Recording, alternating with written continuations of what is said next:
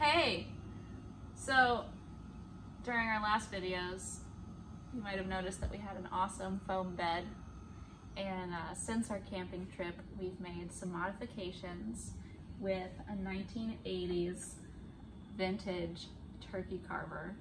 So you don't need any fancy tools to cut foam. Fun fact. um, I took into account the curves of the Model Y um, back end and we cut two of these out to make room for that because it was kind of curving up and infringing on our sleep room, which is very important. Um, so to kind of show you how this happened, we're gonna cut a hole for the AC in the back so we can get some more airflow um, while we sleep. And we're probably gonna take the extra side pieces that you were just holding and make those hold up The, where our heads are. This part. Uh, back here. That we talked about several times, but never filmed it in daylight. Now you can see there's uh, quite a gap. So we're gonna take that extra foam Mind the gap. and try. We'll see what happens. Let's do it.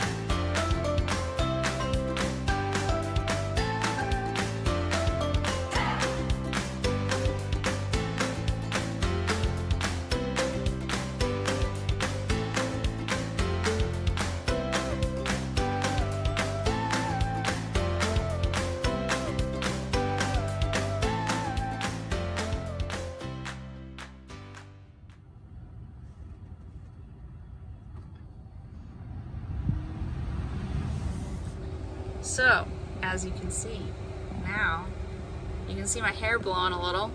We've got some airflow. It does feel better. Yeah. I think you might need a little bit bigger of a hole. A little bit hold more. on.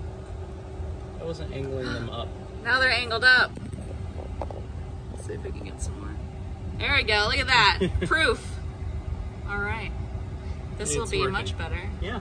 next time. And our heads don't fall. Nope, because we've got the supports. Those Can't two extras, But it worked. Yeah. Both sides. so get a square. You can use the rest for supports and maybe little baby pillows.